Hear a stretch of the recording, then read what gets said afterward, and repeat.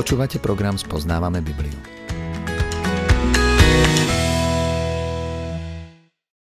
Milí poslucháči, chcel by som sa dnes ešte trochu vrátiť k prvej kapitole proroka Amosa, lebo v tejto časti máme súd nad okolitými národmi. Nad národmi, ktoré obklopovali Izrael. Amos síce prišiel ako vidiecký kazateľ, ale mal svetový rozhľad. Vyslovuje súd nad okolitými národmi, a veľmi konkrétne pomenúva ich hriechy. V závere prvej kapitoly čítame o súde nad Amónčanmi. Amónčania žili na východnom brehu rieky Jordán a pri mŕtvom mori. V 14. verši sme čítali o ich hlavnom meste. Preto roznietím oheň na hradbách rabby a pohltí jej pevnosti. Toto je Boží súd nad Amónčanmi. Rabba bolo hlavné mesto Amončanov. Gréci ho neskôr nazývali Filadelfia. Bolo pomenované po Ptolemajovi Filadelfovi z Egypta. Dnes ho poznáme ako Amán, hlavné mesto Jordánska. Môžeme tam vidieť trosky dávnej veľkej civilizácie, ktorá bola úplne zničená. Moderné Jordánsko bolo postavené na ruinách amónskeho národa. Na juh od nich žili Moábčania. A o nich čítame na začiatku druhej kapitoly. Takto hovorí hospodin. Pre tri previnenia Moábu, ba pre štyri, neodvrátim to. Lebo na vápno spálili kosti edómskeho kráľa. Amos bol podľa mňa vynikajúci kazateľ. Nemá páru. Používa nezvyčajné výrazy. Pre tri previnenia Moábu, ba pre štyri. Takýmto spôsobom hovorí, že tých previnení bolo mnoho. Ale, ako obyčajne, spomenie konkrétne iba jeden. Neodvrátim to, lebo na vápno spálili kosti Edómskeho kráľa. Boh ich odsúdil pre ich hrozného ducha pomsty. Moabčania dosiahli víťazstvo nad svojimi nepriateľmi, Edómčanmi a zabili ich kráľa. Človek by si pomyslel, že by to stačilo, ale dokonca mu spálili kosti na vápno. Ich pomsta bola prehnaná. Boh tu hovorí, že ich za to odsúdi. Druhý a tretí verš. Zošlem oheň na Moab a pohltí pevnosti Keriotu a zomrí Moab v luku za bojovného pokriku, za zvuku rohu. Vytnem vlácu z jeho stredu a všetky jeho kniežatá pobijem spolu s ním, hovorí hospodin. Zomrie Moab v luku za bojového pokriku, za zvuku rohu. To jest uprostred rozruchu a hurheja. Nebukadnesar neskôr priviedol tento pyšný národ k zániku a odvtedy už nikto nejakého Moabčana nevidel. Nie je však zaujímavé, že z tejto pohanskej krajiny pochádzalo to jemné, milé a krásne dievča menom Rúd, ktoré sa stalo Boazovou manželkou. Jej príbeh zachytáva jedna z najkrajších kníh, aké máme v Biblii. Rúd je v rodokmeni, ktorý vedie k Ježišovi Kristovi. Zo všetkých možných miest na svete pochádzala práve z Moabska. Bol to skutočne pohanský národ, ktorý mal veľmi smutný a tragický začiatok ako i koniec.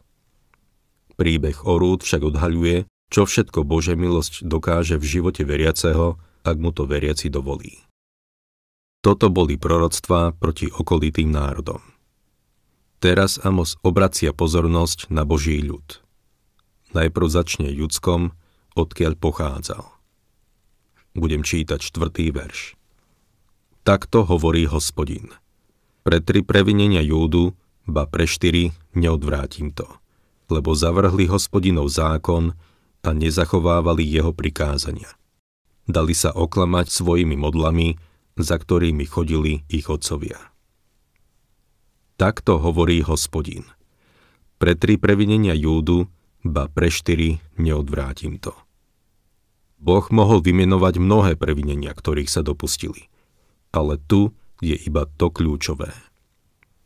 Lebo zavrhli hospodinov zákon a nezachovávali jeho prikázania. Dali sa oklamať svojimi modlami, za ktorými chodili ich otcovia. Tuto je v krátkosti povedané to, čomu Izaiáš, Jeremiáš a Ezechiel venovali niekoľko strán. Konkrétne, že Boh bude súdiť Južné kráľovstvo. Za čo ich bude súdiť? Za to, že nezachovávali Božie prikázania. Pohrdali Božím zákonom. Mali Boží zákon a dokonca mali v Jeruzaleme aj chrám. Preto ich Boh bude súdiť podľa zákona. Všimli ste si, že žiadny iný národ Boh nesúdil podľa tohto? Odsúdili za určité konkrétne hriechy, ktoré sú telesného človeka bežné. Keďže tieto ostatné národy nemali Boží zákon, neboli súdené podľa neho. 5. verš Preto zošlem oheň na Júdu a pohotí pevnosti Jeruzalema. Znovu a znovu Amos spomína, rovnako ako ostatní proroci, že Jeruzalem Boh potrestá ohňom. Keď Nebukadnesar napadol Jeruzalem, úplne ho vypálil do tla. Nezostalo po ňom nič, iba kamene, ktorých je tam hojne. Pamätajme na to, že Amos vyslovil tieto proroctva v Bételi v Severnom kráľovstve. Povedal ich v kráľovej svetini. Nazdávam sa, že vždy, keď sa postavil, aby prehovoril, Vybral si ako tému jeden z týchto národov a vyslovil nad ním Boží súd. Hovoril už o Judsku, čo je dosť blízko ich domovu. Je možné, že zo pár ľudí sa pomrvilo v laviciach, keď spomenul Judsko. Avšak tých 10 severných kmeňov a dva južné kmene dosť veľa proti sebe bojovali. Niekoľkokrát uzatvorili spojenectvo – ale to iba zo strachu a nutnosti, aby sa mohli postaviť proti spoločnému nepriateľovi. Väčšinou boli nepriatelia. Preto, keď Amos vyslovil súd nad Južným kráľovstvom, všetci prítomní mu na to povedali Amen. Súhlasili s tým, že Boh mi mal odsúdiť Jeruzalem a Judsko. Ale čo Severné kráľovstvo? Od 6. verša bude prorokovať proti nemu. Bétel bolo mesto, ktorom uctievali kráľa a Amos prorokoval v kráľovej svetini. Začal sa miešať do ich vecí. Istý kazateľ raz vraj kázal proti všelijakým hriechom. Kázal o opilstve a jedna žena, ktorá sedela v zhromaždení, súhlasne zvolala Amen. Potom kázal proti fajčeniu a znova náhlas zvolala Amen. Keď potom začal kázať proti žuvaciemu tabaku, prehodila si šnupavý tabak k druhému lícu a zahundrala. Už prestal kázať a začal sa miešať. Amos sa začína miešať. Hovorí o hriechu spoločenstva, ktoré má pred sebou. Už nekáže o hriechoch Moábu, ale Severného kráľovstva. Oni takisto mali Boží zákon a učili sa desať Božích prikázaní. Počúvajme, čo im Amos povedal. Amos 2. kapitola, 6. verš. Takto hovorí hospodín. Pre tri previnenia Izraela, ba pre štyri, neodvrátim to. Lebo za peniaze predávajú spravodlivého a chudobného za pár sandálov. Takto hovorí hospodín. Osobne som nikdy nemal pocit, že by som mal právo postaviť sa za kazateľnicu a kázať, pokiaľ by som nehovoril na základe toho, že takto hovorí hospodin. Základom kazateľskej služby by malo byť to, čo hovorí Božie slovo. Pre tri previnenia Izraela, ba pre štyri, neodvrátim to. Tých previnení bolo viac ako len 3 či 4. A Amos ich aj spomenie.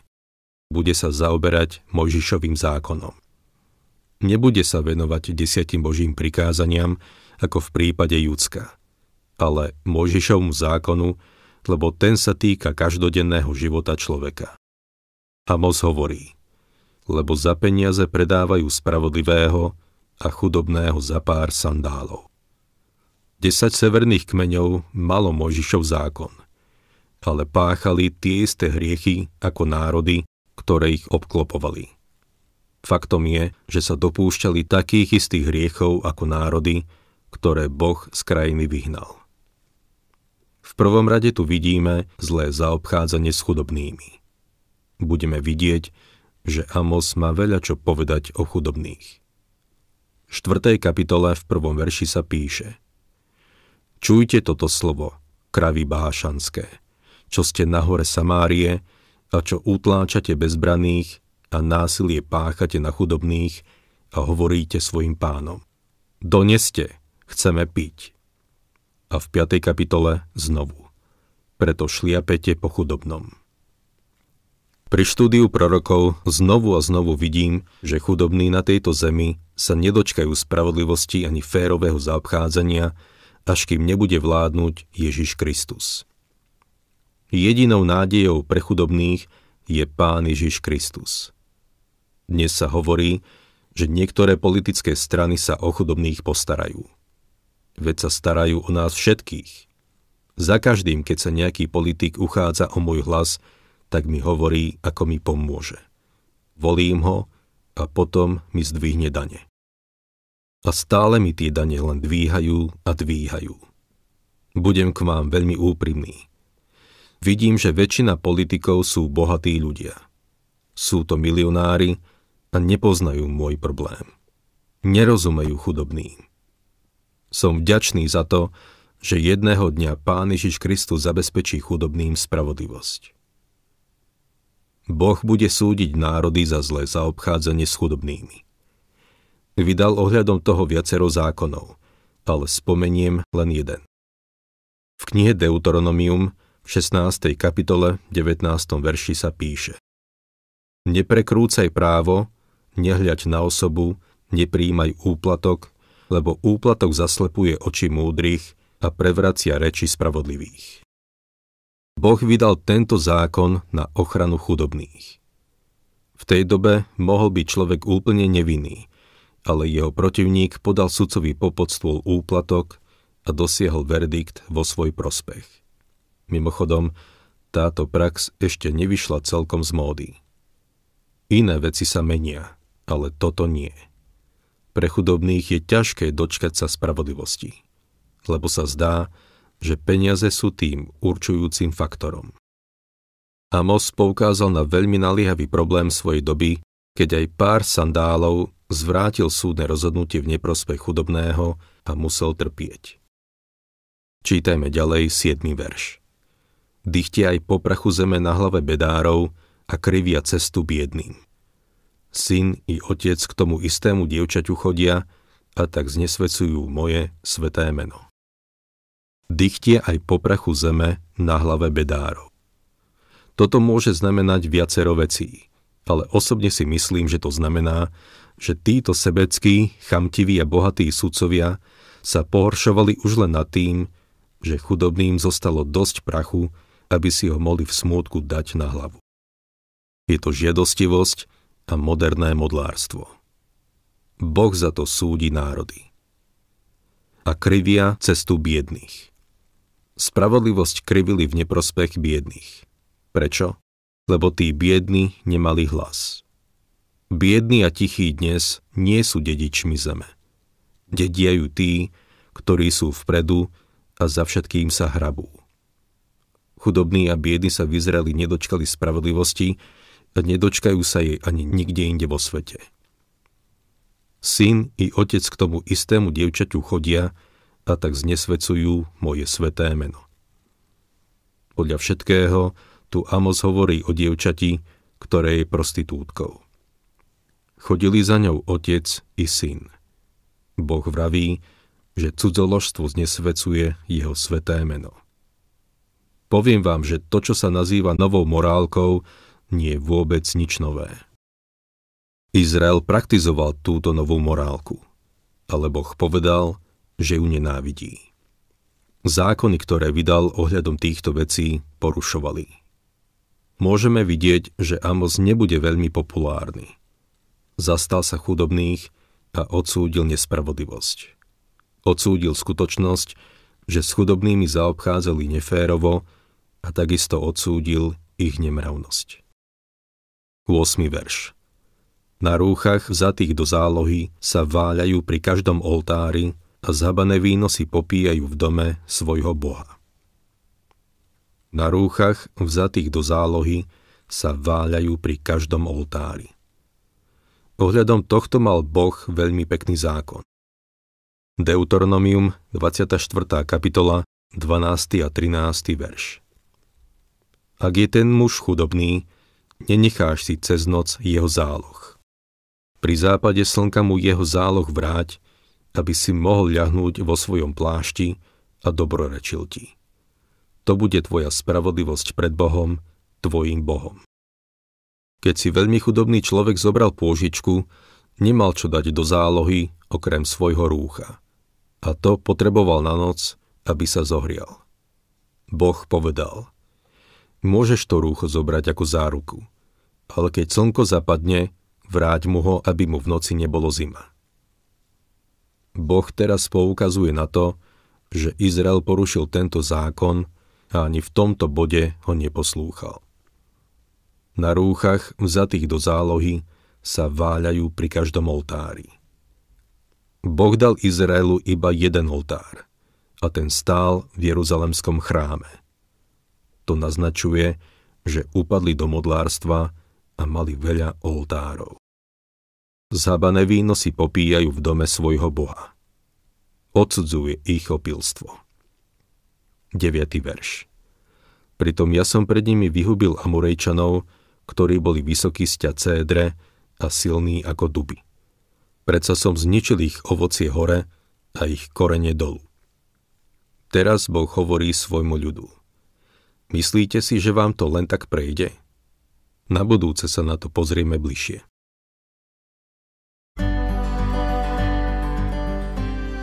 Počúvali ste program Spoznávame Bibliu. Ak sa vám program páčil alebo vás oslovil, budeme naozaj radi, ako odporúčite ďalej, alebo ak nám vaše komentáre a podnety pošlete na e-mail spoznávame Bibliu zavináč gmail.com alebo ak ich napíšete priamo pod toto video. Krátke zamyslenia k programom nájdete aj na facebookovej a instagramovej stránke s názvom Spoznávame Bibliu. Relácie sú tiež dostupné na vypočutie a stiahnutie na hlavných podcastových platformách ako Spotify, Apple a Google Podcast. Tešíme sa na vaše reakcie.